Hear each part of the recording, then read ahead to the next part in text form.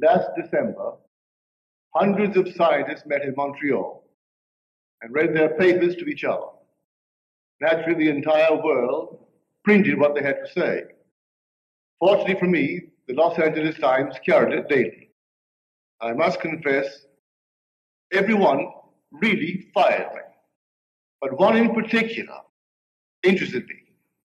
And this scientist read a paper on the sperm. He said the sperm remains as much a mystery today as it was when man first became curious about its nature. And then he made this little statement.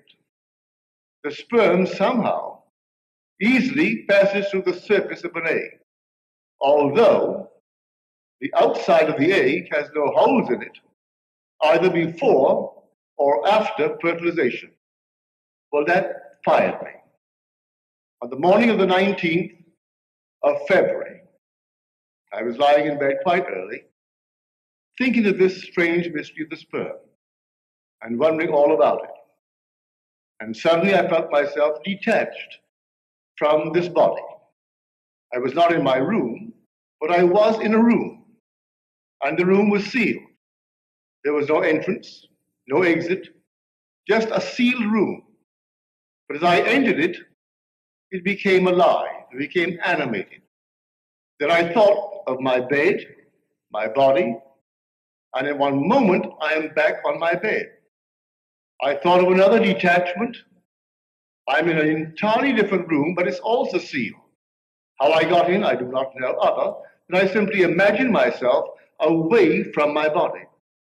I did not single out the room. The room was completely sealed. No entrance, no exit. Then I thought, there are these unnumbered states of consciousness. You can't number them. You can liken each state to an egg. And every state remains just like the egg until fertilized. And the presence that fertilizes the egg is simply our consciousness. We must be in it to activate it, to animate it. You could this very moment single out any state, and by the use of your imagination, imagine that you're in it. You'd be in it. Think this very moment of your living room or any room in your house. Take an object, a familiar object in your room, and bring it as close as you can. If it's really here, well, then you can't be here in this room. As you become intense about it, concentrated on it, you are really where you are imagining yourself to be.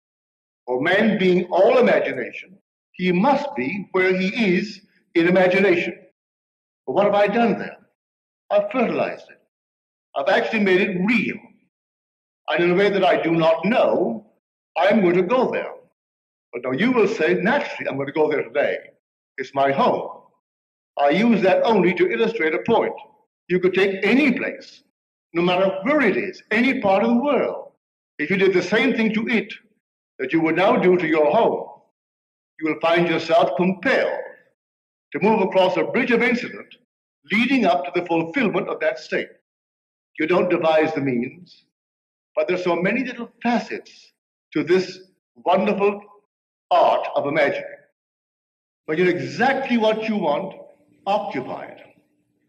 I find one of the great fallacies of the world is perpetual construction, deferred occupancy. We know what we want, but we leave it out there and hope that the passing of time will make it. It won't do it. I have to occupy it and make there here. I'll make then now. And dwell in it just as though it were true.